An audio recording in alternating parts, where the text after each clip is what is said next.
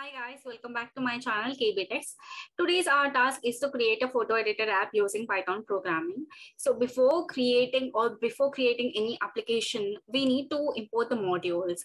Um, after importing the modules, we can just work upon what we want to uh, get it as an output.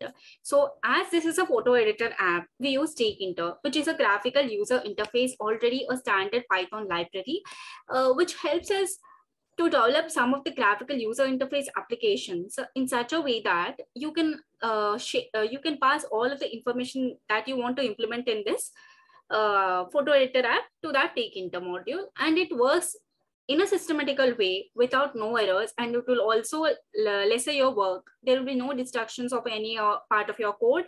There will be no errors in your code. But it is a systematic way.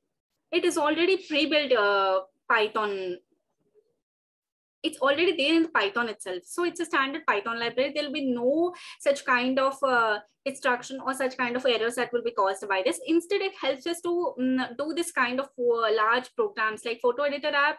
Uh, to create this app, there may be large codes or thousands of uh, lines that maybe ha have to be written. By but using this as a Python standard library Tkinter, it will be easier, much easier for us to build this photo editor app. So for that, we are importing this Tkinter uh, module. Then later we are just importing the file dialog module. So uh, for the better analyzation of every concept in detail, I have created a notes for this concept.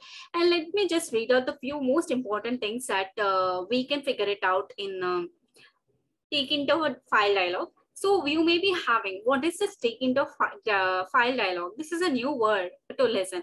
Tkinter is okay, fine, that's a GUI. But coming on to Tkinter file dialog, it's somewhat different. So over here, it's nothing that so much difficult to uh, also. Um, we may have done some of the uh, file programs in our childhood, like opening a file and closing a file and saving a file. Same thing happens over here, but who is the uh, who is the one where, who mentors this all processes Tkinter So that's the reason he's at he's mentoring that. So file dialog is just attached to that. So this file dialog has some of the functions like, uh, let me just show you. Like you open the file dialog, like Tkinter.file dialog is there. You ask for save the file name. So for example, if you want to save a file that you have created, uh, you will save it with giving some particular name or else you'll just save it if you have just made some kind of changes. Then you will open the file.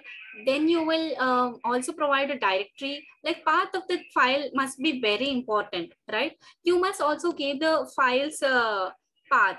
Then you must have to close also these kind of uh, small commands will be given using this Tkinter file dialog. It's just for opening and closing of the file. At the same time, it's like used for saving of the file, giving the names of the file in that way. Now you may be having doubt why we are using this file dialog. let me just go into deeper of the concept that we have written in the code. Uh, so now, as we know that we have imported a required uh, all modules, right? Now we'll go with just what so you're creating a thumbnail.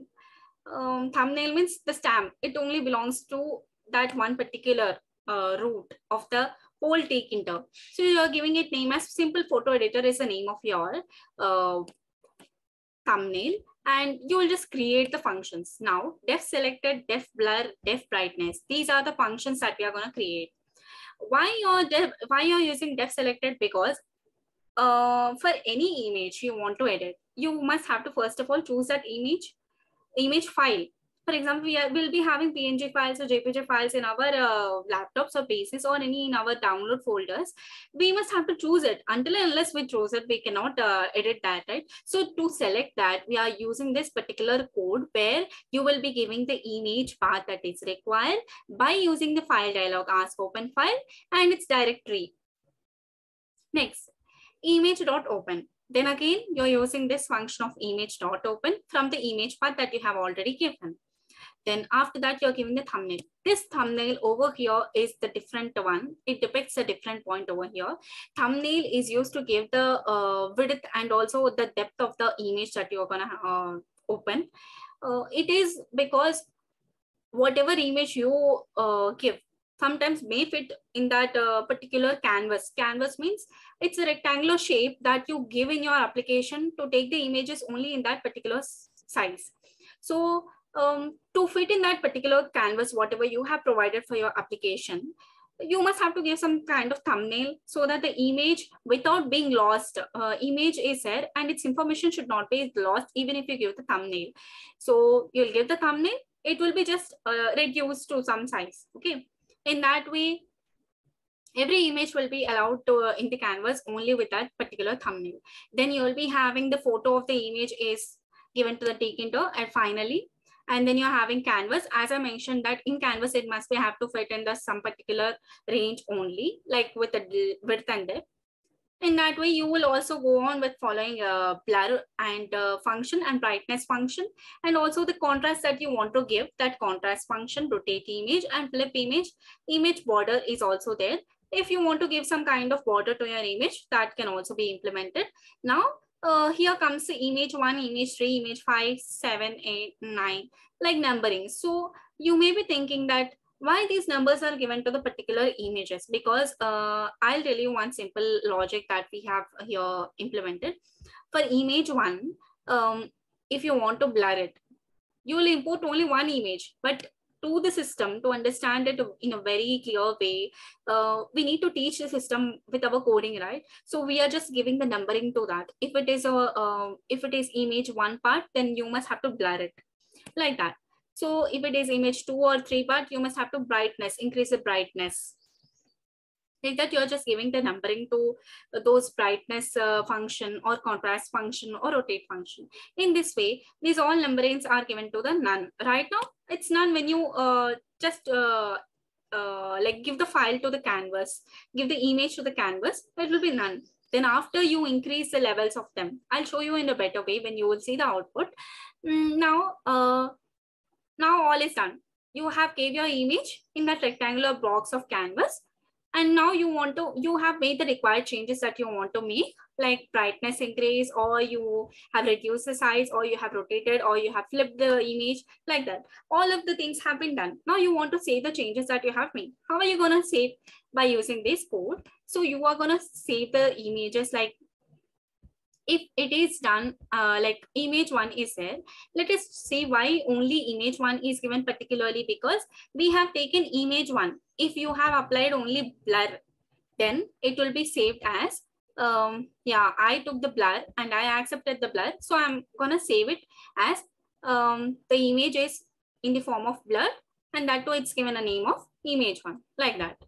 Next in the same way, you are going to create the labels, scales, and com boxes. Like for example, uh, if I'll execute the, uh, the thing, that you will be getting a more deeper concept. Let me just execute this for you. I'm going to create the canvas also. As I said, at last you must have to, you have taken the canvas directly, but at last you must have to create the uh, total width of that canvas also, right? Width and breadth and length of the canvas. That's important, right? Yeah. Next, again, you will also create the buttons. Let's see why you are creating the button and how are you going to uh, click uh, when you don't have the buttons. So you must also create the buttons. Uh, now, let me just run it for you.